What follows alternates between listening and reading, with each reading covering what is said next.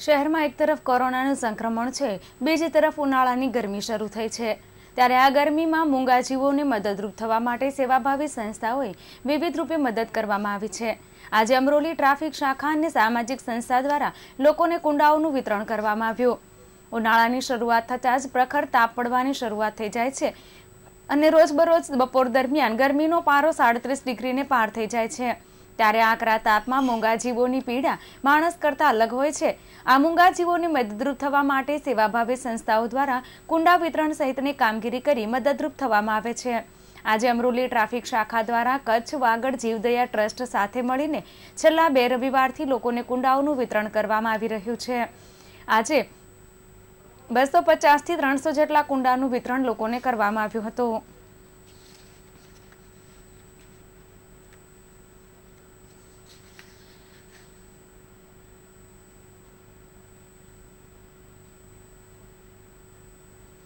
અમારો કાર્યક્રમ કુંડા વિતરણનો છે.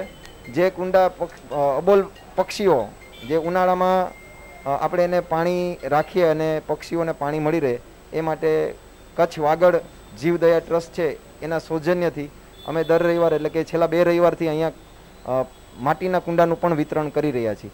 જે અઢીસોથી ત્રણસો કુંડા અમે દર રવિવારે આપીએ છીએ.